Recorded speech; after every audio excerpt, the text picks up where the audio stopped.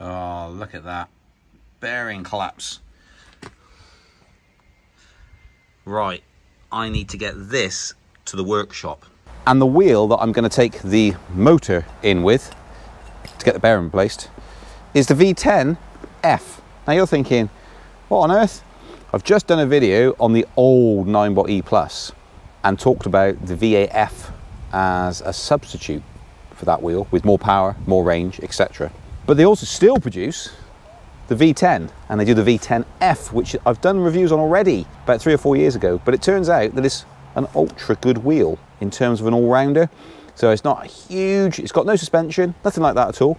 It's just a really good price point wheel, good bang for buck, shall we say. Uh, that's what you get in the V10F. And actually I thought, why not take one out of stock and ride it again four years later and see what I think. Uh, so this is a brand new V10F, we've got fresh batches in. I think you all know where to go to visit them. This motor, that bearing is totally shot. Little story behind that, I bought the DeWalt saw for 20 pounds because it's broken. You know, good old YouTube. I had a quick look on YouTube and it seemed to say that it's going to be the bearing. The bearing's about eight quid. And it was the bearing. So I'm going to replace that. Let's get it out, brand new one, unboxing again. But this is fresh production run. So you get the side pads in there, which don't look like the traditional side pads because they're flat as in traditional now, the modern side pads. Uh, manual, etc. I won't go through everything. You get a charger. Let's just get straight to the wheel. We'll pull that back out. And you can actually lift it out with one hand. And there you have it, a brand new V10 F. Let's pull that away. Cover over the charge port. Oh, peel that off. It boots up, and there you have it. I still think, just like the Ninebot, they're onto something with this design. And it's basically good to go. Just like that. There's no suspension setup, nothing like that at all. And you've got a commuting wheel. Put these bad boys. The biggest concern is putting these bad boys on properly. That's that one. There we go. Right, let's just put this charger in that back in the box. Jack in the box. Put that in there. Oh, one thing that has changed, which I hadn't realised, is there's grit tape on the foot plates. So that's changed. It used to be rubber inserts, so that's going to be even better. And uh, what I'm going to do now is basically ready to go. You can connect with the app as you would have seen in the first review, but what I'm going to do is I'm just going to go out and ride it. I think it might be limited top speed, so I'm going to open that threshold to maximum and then travel on and just report back. What is it like jumping from things? I'm currently riding the V13. Jumping from a V13, one of the fastest wheels, if not the fastest wheel on the market, with suspension, with huge batteries, and the heaviest on the market, and the most expensive on the market, to what I would call an all-rounder, bit of a bruiser. We've talked about this before, it rides beautifully smooth because of that lovely tyre on it. Um, will just see how it is. Let's get going. Oh, better get the motor. Take that with me, and a helmet and some gloves.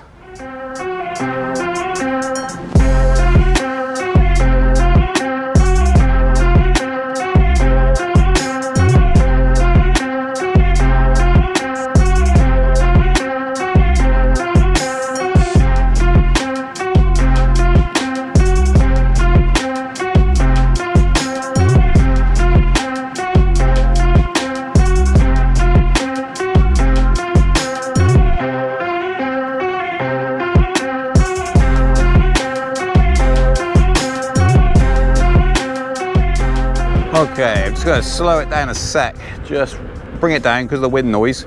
No idea if you can hear me still. But this is just, it's incredible. For the price point, it's just absolutely brilliant. You just cannot recommend it enough really, just the amount of power. And you'll see the previous videos I've done before. Of course, in those videos, oh, hold on. Blooming road closed, look, everywhere. Can I get up here without damaging it? He says. Oh, I don't want to damage it. Not on the first, not on the first ride. On the first ride. Wow, there's all leaves all over this road. That has been closed for a while. Right, let me keep the, the, the riding speed down just so you can hear me. I'm assuming you can hear me. Let me just check. Test, test, test. Yeah, you can hear me. So I have put on weight since that video, shall we say, just a, just a tad, probably about two stone heavier.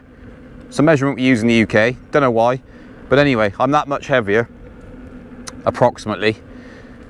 This motor carries me no issue at all, and I've been absolutely hammering it. And as you saw, the slider goes up to 40 kilometers an hour, which is plenty, um, depending on whether you're going racing or not. Maybe it isn't against these top wheels, but like the V13 at 4K, this one, just over a grand, it's a grand basically plus tax. So it's just priced real nicely at time of filming this, obviously. Um, but anyway, I want to crack on now, push this a little bit more, and get to Mitch and drop this off because this isn't actually that light, it turns out. And I can't bring a bag because I've got the Speedy Feet logo on my back. And everyone wants to see that, don't they? So can't bring a bag, I have to carry everything.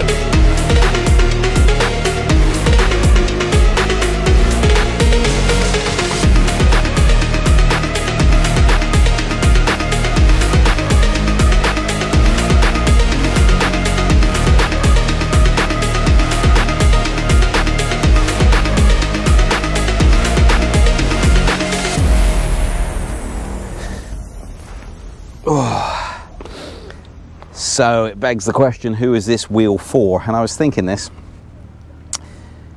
you have a mixture of friends, don't you? You usually have different friendship groups.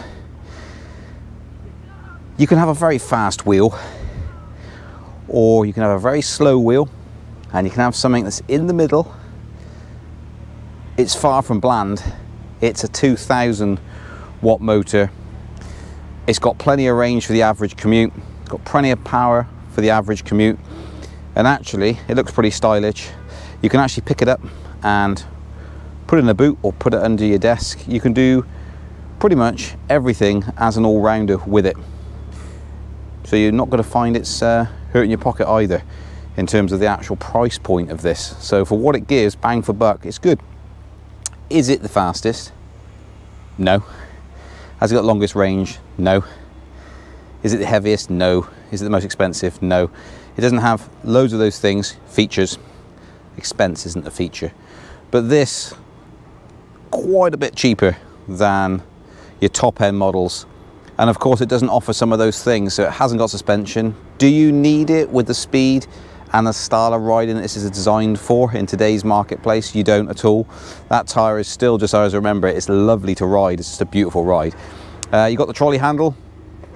It's just set up really for a commuting tool at a really reasonable price. Now, for those entering into the market who haven't bought a wheel and really want to, but see that all the modern wheels are like three grand, four grand, it's like, just start on something like this, or even the V8F, or even the V5F, depending on your size, weight, etc. Might, most grown men, for example, VAF, V8F, V10F, they're around about the same price point. So this is a economy wheel in today's standards, which is crazy things have elevated in terms of performance, but price has gone with it. It's not like for a grand you're getting all the things that the top feature wheels have now, and then you spend four grand to have all that. You know, that's kind of where we're at in this marketplace. So if you're looking to get in but just can't even, you're dreaming of it, but just can't do it because there's no way you can afford it. You can. Get in with a V10F. If you've got this huge machine that you've went into, it's the first wheel you bought, you say you bought a V13 straight off, and you think this is just so big and heavy and it's just etc. And you haven't experienced the smaller wheels, try this or VF, something like that. You know, along those lines, basically. Um, so yeah, I would suggest mix it up a little bit. So for your beginners coming in, it's not like it's a super slow wheel that you're going to grow out of. It's just really good. It's something you're always going to throw in the boot. And some of the comments from my previous video about the 9 pot, 9 pot, Ninebot 1E Plus was that they still carry it with them. It's in their car. People are still using those wheels because it's just so convenient. They've got other bigger wheels that rather than being stuck to 12, 13 miles an hour, they can go 40 miles an hour, for example, because they're crazy. Then yes, they can ride those when they want to go out on a blast. But for their everyday, it's ones like this really, the ones you don't see flashy and showy across the social media channels. These are just the run of the mill type of constant work dogs that just keep going and going and going. So new to market, definitely look at this. Um, it's going to be around the same price point as VF anyway. Those two wheels, very similar in price. You just get a little bit more with this and for a little bit more money. Um, but yeah, I, that's kind of where you're at. And if you want to climb down from one of the big ones and have something a bit more convenient, though I've, we've known customers who want to go on holiday, they're, they're traveling, they've got their caravan full up or whatever, or their car boot full, and they just can't fit one of the massive wheels in. It's like, what have you got that's going to be able to shove behind a seat somewhere or in a gap? It's this sort of thing. And they still want to have that enjoyment of riding the EUC along the promenade and all this sort of thing. Um, definitely look at that. Out on it again. Yeah, just spot on, exactly like it was all those years ago. I'm so used to going a lot faster, but this is fast enough, fast enough to warrant now wearing a helmet.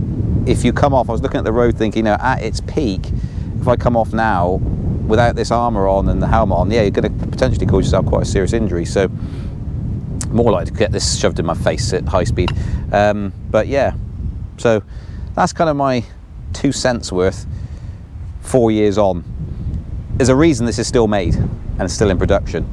So check it out if you've sort of overlooked it, never even heard of it because you're so new to the game, you haven't even seen those reviews. I'll link them below in the description um, and possibly up here or wherever it's going to be. Um, back to the originals, You've got all the unboxing, all the stats, everything, the range tests, all that sort of business. I don't go through that again. It was just to revisit it really, because we've got fresh delivery. Thought, why not? Why not try it again? Mike suggested it. I was like, give it a go. So yeah, there you go. Let's get this. Uh, we're here, so let's get it into the shop.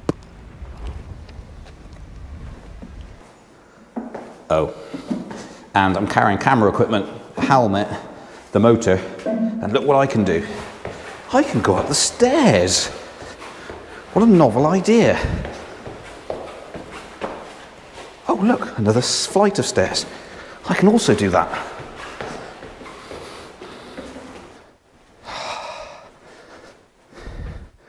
Hmm. Place that there for Andrew to have a look at.